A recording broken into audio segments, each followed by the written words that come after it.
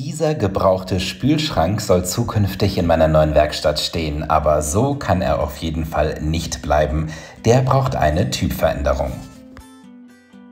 Die Griffe werden auf jeden Fall ersetzt, aber zusätzlich kommen auf die Türen noch diese Zierleisten.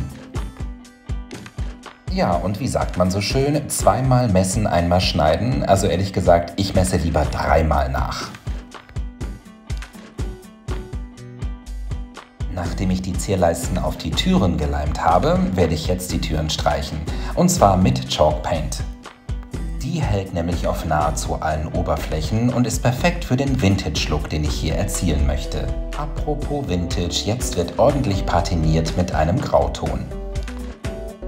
Die Chalk Paint wird immer versiegelt, in diesem Fall mit einem matten Lack.